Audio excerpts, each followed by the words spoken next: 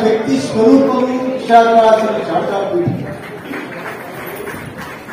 విశాఖవాసిని శారదాపీఠం అంటే హిందూ ధర్మ పోరాటం చేసే ఏకైక పీఠంగా తెలుసును. అంత మాత్రమే గాని ఇది ఒక ఉపాసనా పీఠము.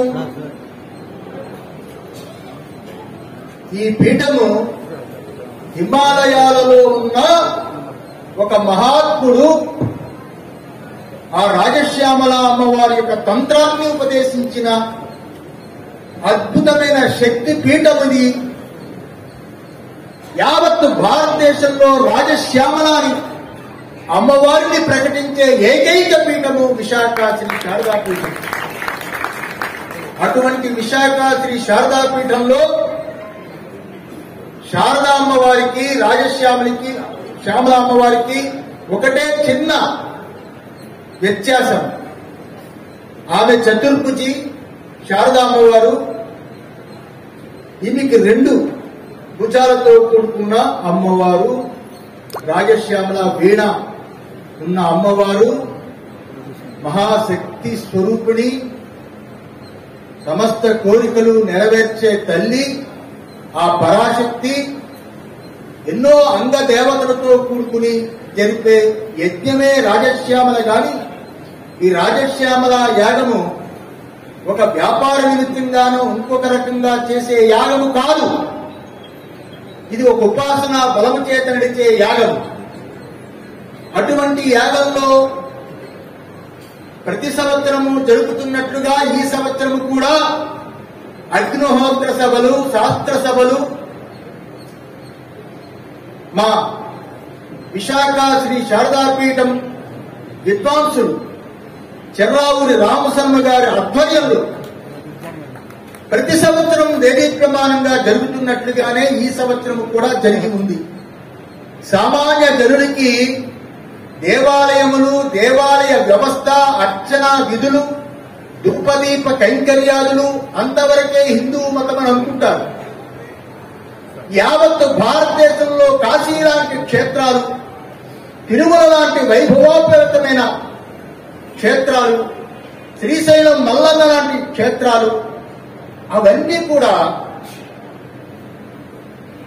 దేవస్థానములు క్షేత్రములు మహాపుణ్య ప్రాంతములు. వీటన్నిటికీ గొప్ప జ్ఞానాన్ని వాటి యొక్క జ్ఞానాన్ని పరమాత్మ యొక్క స్వరూపాన్ని మన అందరి హృదయంలో ఆత్మ యొక్క తత్వాన్ని యావత్ ప్రపంచానికి బోధించే ఏకైక దేశం ఏదైనా ఉంది అంటే భారతదేశం. అది హిందూ మతానికి మూలం అది. సామాన్య జనులకి క్షేత్రాలు దేవాలయాలు మహిమలు అయితే ప్రపంచానికి మూలం యావత్తు భారతదేశం ఎందుకు అయింది అంటే శాస్త్రములు వేదములు. ఆదిశంకరాచార్య వారు చెప్పిన బోధ హిమాలయాల్లో గంగా యమున సరస్వతి ప్రవహించినట్లు ప్రపంచమంతా విజ్ఞానులు ఎదురు చూసే ఏకైక భూమి ఏది అంటే మన భారత భూమి. అటువంటి భారత భూమిలో ఎంతో మంది శాస్త్రజ్ఞులు. ఇది సామాన్య జనులకు తెలియదు. సామాన్య జనులు ఈ అవగాహన ఉండదు. పాలకులకి దీని గురించి తెలియదు. కానీ దాన్ని పీఠాలు ఈ శాస్త్రం ఉంటేనే మూలమైన హిందూ ధర్మం నిలబడుతుంది.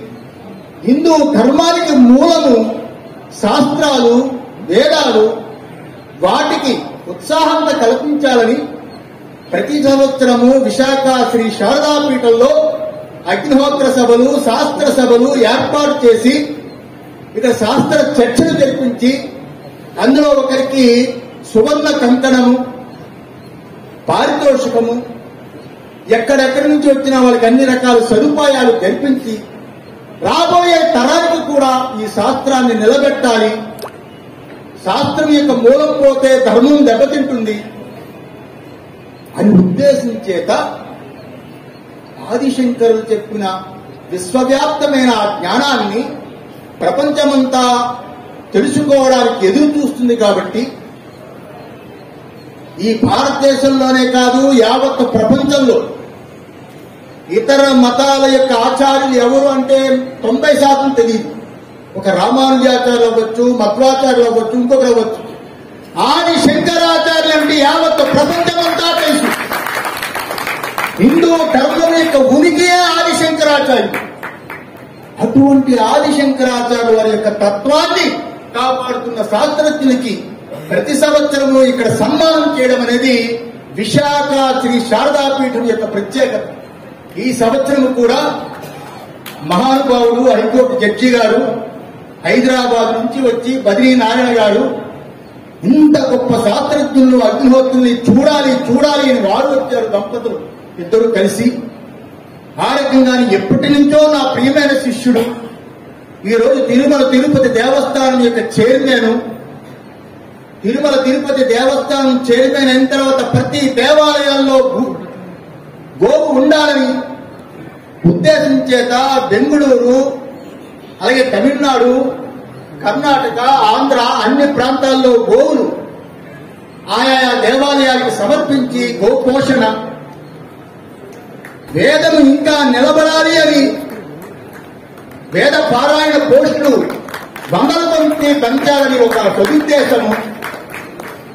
ఈ తిరుమల తిరుపతి వెంకటేశ్వర స్వామి ఈ తిరుమల తిరుపతి వెంకటేశ్వర స్వామి నేను చాలా పాదయాత్ర చేసే హిమాలయం అంత కేదారు బదిరి గంగోత్రి యమునోత్రి పంచారామాలు ఇక్కడ తమిళనాడులో ఆరుముఖాలు సుబ్రహ్మణ్యేశ్వర స్వామి నా చిన్నతనంలో చాలా పాదయాత్రలు చేశాను. ప్రపంచం భారతదేశం అంతా చూశాను.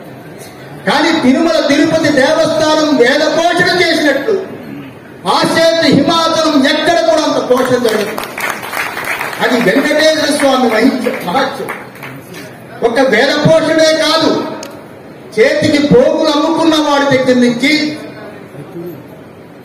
ఆ వెంకటేశ్వర స్వామి ఫోటోలు అమ్ముకున్న వాడి దగ్గర నుంచి చిన్న స్థాయి దగ్గర నుంచి చురగర్వ చేసేవాడి దగ్గర నుంచి అనేక మంది బడుగు బలహీన అగ్రవర్ణాల అందరి యొక్క జీవనానికి ఉపాధిగా నిలిచిన ఏకైక దేవుడు ఈ భారతదేశంలో ఉన్నాడంటే తిరుమల తిరుపతి వెంకటేశ్వర స్వామి మాత్రమే.